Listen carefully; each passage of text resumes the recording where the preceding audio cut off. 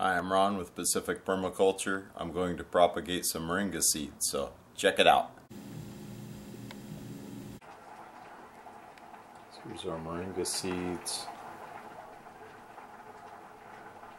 I'm not sure when. Packed for 2015, so they're a couple years old. And it says somewhere on here where I should soak them for four hours in warm water. So I got my warm water here. Let's try it out.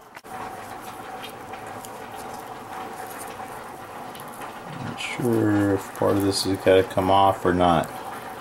But anyhow, I'm going to put that one in. One. Looks like it's broken.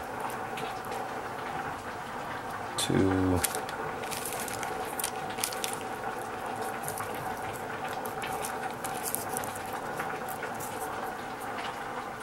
Three,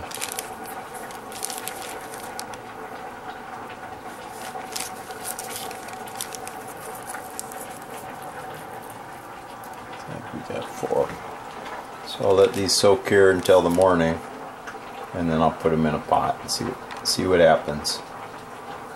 Try to grow a moringa tree. Anyway, that's the way it is. Now we've been soaking the moringa seeds for about I think 22 hours because I had things I had to take care of, and this is the first chance I got back to it. I believe I put them in to soak at about 8 p.m. last night. Now it's 6 p.m. So let's check them out. Let's check this out.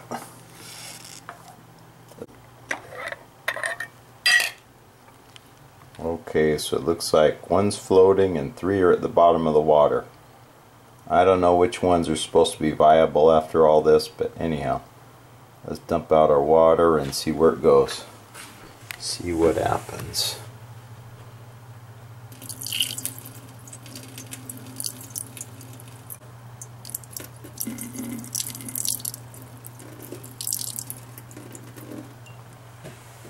Wow, something has a real sulfurous smell right now. I think it might be the moringa seeds. Does that mean they're rotten? Who the heck knows? Anyway, I'm going to look into putting them in the pot. Check it out. Okay, now let's just dump these right here so it's easier to deal with. Now it said in the instructions I got with these seeds to scratch the seed coat open a little bit so they germinate more easily. I don't know if I'm going too far away. Okay, it's breaking open nicely just gonna poke in a spot to plant them and we're gonna see what happens. This is our journey here. Okay so I've lightly scratched the seed coat didn't scratch so well but anyway I'm stuffing that in there.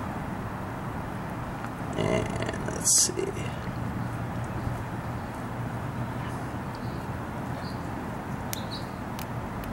Basically we're mimicking how these seeds would go through the system of an animal and the stomach acids would eat down the seed coat to where when it's deposited in the soil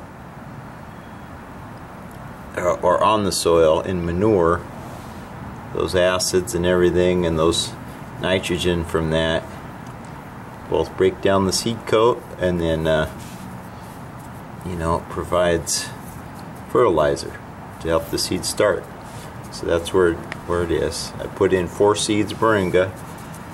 So that's the way we're starting here now. Anyway, I have these little tomato seedlings. I started about a week or so ago. This is a beet that was getting soft before I had a chance to cook it, so I put it in a plant pot, and I have some bell pepper seeds around it as an experiment, see what happens. I don't see any seedlings popping up from that. Who knows, maybe it doesn't go well together. And this one, I put some lemon cucumber seeds in. I don't see any response out of that yet. But we'll see. This is all kind of an experiment. Permaculture and horticulture, you have to experiment to see what works and when and how. Just because somebody says it can't work doesn't mean you can't try. Maybe it'll work for you.